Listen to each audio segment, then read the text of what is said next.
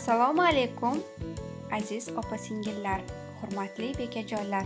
Bugun sizlar bilan birgalikda mazali bo'lgan vinegret salatini tayyorlaymiz. Buning uchun bizga kerakli bo'lgan mahsulotlar.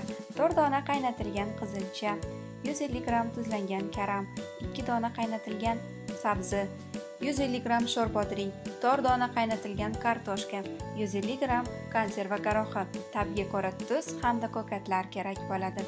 Birinchi o'rinda biz qaynatilishi kerakli bo'lgan mahsulotlarni qaynatib bo'lgach to'g'ralishi kerak bo'lgan mahsulotlarni mayda to'rtburchak shaklida to'g'rab olamiz.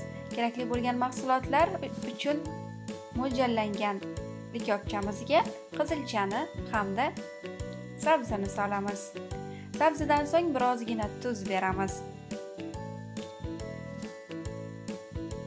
Tuzni aralashtirib ustiga konserva garohini solamiz. Konserva garohidan so'ng mayda qilib to'g'ralgan sho'r bodringimizni solamiz. Sho'r bodringimizdan keyin esa qaynatilgan hamda to'g'ralgan kartoshkamizni solamiz. E'tibor bergan bo'lsangiz kartoshkani man oxiriga yaqin solyapman. Mani nazarimda boshrog'ida solsam kartoshka ezilib ketib qolishi mumkin. Shuning uchun oxirida soldim. Kartoshkamizdan so'ng tuzlangan karam solamiz.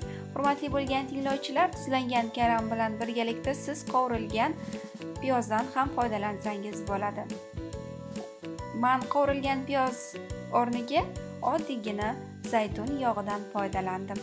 Agar zaytun yog'i yo'q bo'lsa salat yog'idan ham foydalansangiz bo'ladi. Tabga ko'ra zelinlarimizni solamiz aniqrog'i ko'katlarimizni va yaxshilab aralashtiramiz. Ko'rib turganingizdek salatimiz ham tayyor. Sizlarga yoqimli ishtaha tilab qolaman. Bizga obuna bo'lishni unutmang. E'tiboringiz uchun tashakkur.